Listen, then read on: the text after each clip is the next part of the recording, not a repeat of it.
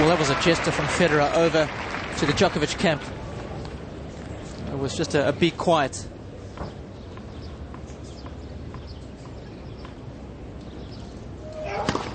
Yeah, just telling mum and dad to keep quiet. No love lost, as we mentioned, between these two, and that will only make matters worse.